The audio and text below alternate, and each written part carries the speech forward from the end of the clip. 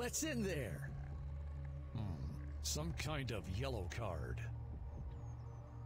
We got a problem. A whole horde is heading our way. Um, I'll go ahead.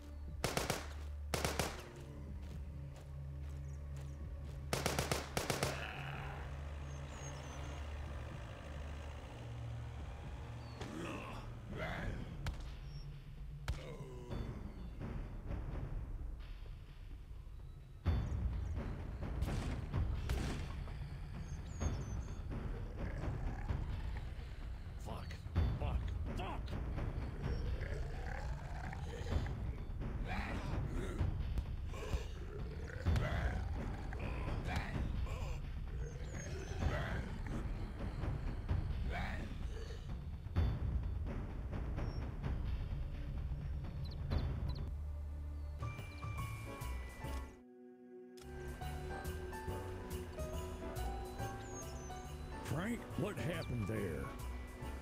I wanted to wait for him until he got into the car, but he didn't make it. The zombies got him sooner, so I had to leave.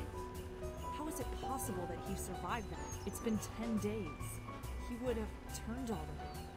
Look, he has bite marks.